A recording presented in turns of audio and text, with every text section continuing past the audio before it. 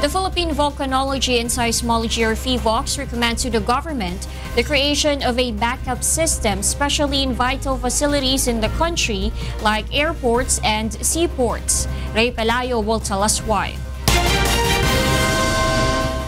The recent 6.7 magnitude earthquake in Surigao badly damaged the runway of the city's airport. PHIVOLCS says such an incident can happen at NAIA once the West Valley Fault moves. The West Valley Fault is just 2.7 kilometers away from the runway of NAIA according to PHIVOLCS Fault Finder application. If the so-called the big one damages the Manila seaport, other ports like in Subic and Batangas can be used. This is why PHIVOLCS notes that these ports have to be developed before a powerful earthquake strikes. PHIVOX Director Renato Solidum explains the extent of damage a 7.2 magnitude earthquake can bring to Metro Manila.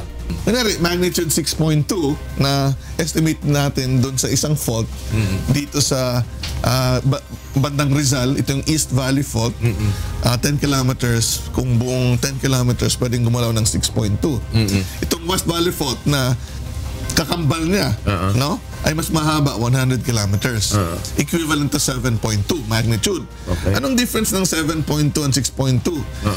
Yung isang unit ng magnitude ay hindi lang isang best lang na mas higit. It's 32 times greater. Wow. So, So hindi yan doble lang. okay. 32 times greater. So, that malaking is- difference. That's significant. Yes. Ano? Director Solidum says rescue teams skilled in collapse structure should be prepared as the earthquake can possibly damage many buildings. Through PHIVOLCS Fault Finder app, users can determine the distance of their house or building from the nearest fault line. Solidum also noted that a structure should be 5 meters away from a fault line to avoid a possible ground rupture. He urges those planning to build any structure to consult PHIVOLCS before doing so.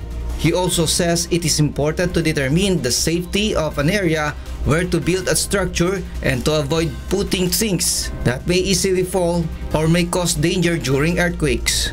Solidum also suggests the opening of satellite national offices in various areas like Visayas and Mindanao. Remember, after a major earthquake, you siyempre paralyzed. Yeah, so we need to continue our service to the nation. Yes, yes. So you have to have a backup system somewhere. So, dito nyo nakikita ang malaking kakulangan ngayon. Sa yung tingin- backup system natin, if in case na magkaroon ng malaking lindol ng 7.2 dito sa Metro Manila, we will be paralyzed kung... Kung hindi tayo nagplano how to respond to it, The PHIVOX director also noted that each family should have emergency bags that contain water, food, money, and even important documents. Ray Pelayo, UNTV News and Rescue, Quezon City.